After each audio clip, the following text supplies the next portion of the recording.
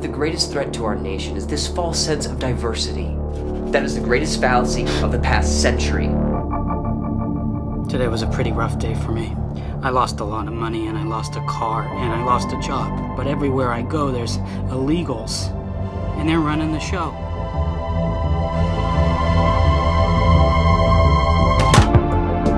Our country, it's shifting, not just in terms of politics or morality, but culturally. You can't be proud to be white and male anymore. It's not politically correct. We sometimes record it. All you gotta do is follow the script. Can you do that, Ronnie? Can you follow the script? I can't be anything I need to be!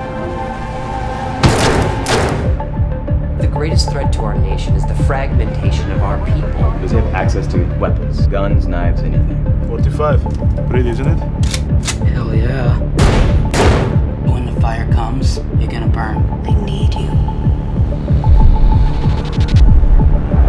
Are you ready to take the red pill? Or are you just another cuck?